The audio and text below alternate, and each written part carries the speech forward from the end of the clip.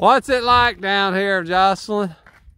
It feels like ice. it's because it is ice. How many times have you slipped? Um, about like six, About six times. Well, actually seven, but I don't know how many. Oh, look, my door's frozen. Try to chip it out. See if I can crank it and warm it up.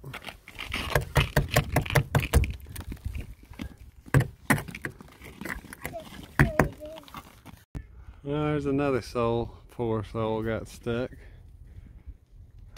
They just stopped where they were and walked. Are you mountain climbing, Jocelyn?